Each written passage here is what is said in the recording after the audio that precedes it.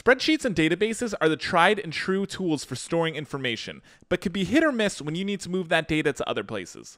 That problem can be fixed with Zapier Tables. Zapier Tables is a no code database tool that allows you to store, edit, share, and automate data in one place.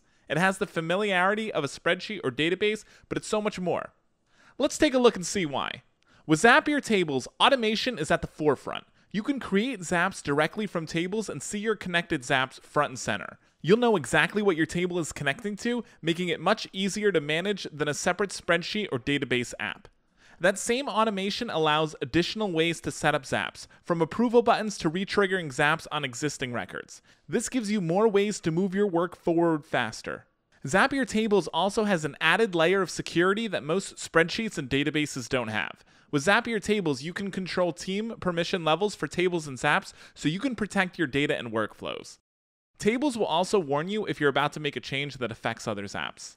Tables are great on their own, but they can become even more powerful when paired with Zapier interfaces, allowing you to create custom web apps. This gives you a no code complete solution that users can interact with.